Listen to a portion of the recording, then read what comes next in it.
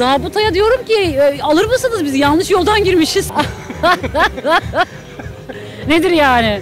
Bir şey söyleyeceğim ya. Yıllardır seni takip ediyorum. Benim en büyük hayalimdi biliyor musun seninle röportaj yapmak? Ya hayır. Vallahi. Hayır ya. Yemin ediyorum kız. Ay yemin ya. Çarpılmam değil mi? Yağmur da yağıyor. Abi sen nasıl bu kadar güzel dans edebiliyorsun? Vallahi bilmiyorum ki ben de farkında değildim. Sonra sonra farkına vardım. Düğünlerde oynuyordum yani romanla beraber. Evet. Ya ilginç bak sahnede videosunu da çektik yayınlayacağız. Yani gözün ayrı oynuyor. Ağzın ayrı oynuyor. Elin ayrı oynuyor. Her yerin ayrı oynuyor. nasıl oluyor bu? Bilsem yani bu çalışılarak yapılmış bir şey değil diyemedim de çalışılarak yapılan bir şey değil. Bak söyleyemiyorum bile. Nasıl çalışayım? Sen oyuncu olarak başlamıştın, girmiştin sektöre. Nereden evrildin buraya? Yani nasıl evrildi? Çok uzun hikaye. Burada anlatırsam çok Anlatsana uzun kız. sürer yani. Vallahi çok uzun Özet sürer. geçelim. Özet geçeyim de yani önce aslında dans dersi vermeye başladım. Ee, ondan sonra sahne oldu. Böyle bir iki defa birkaç grupla çalıştım vesaire falan. Sonra Suzan kardeşle yolumuz kesişti. Suzan'la bir araya bir geldik. Okan Bayagün'ün programıydı. O gün bugündür beraberiz. 10 yıl oldu. Bu işin bir olimpiyatı var mı? Yani bilmiyorum varsa da... Katılsana. Nedir yani?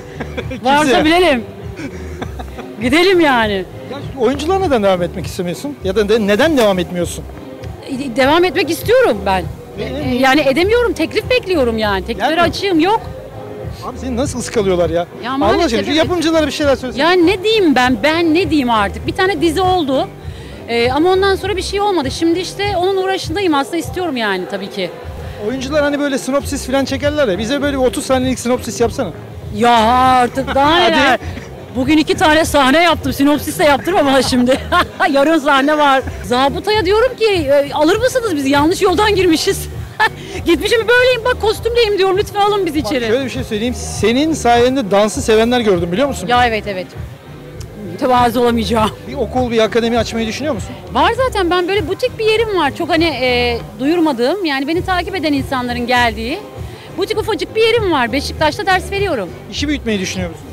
Yani çok büyütmeyi düşünmedim açıkçası. Böyle mutluyum ya. Çünkü takip edenler, bilenler gelsin benim için yeterli. Franchising verir misin? E,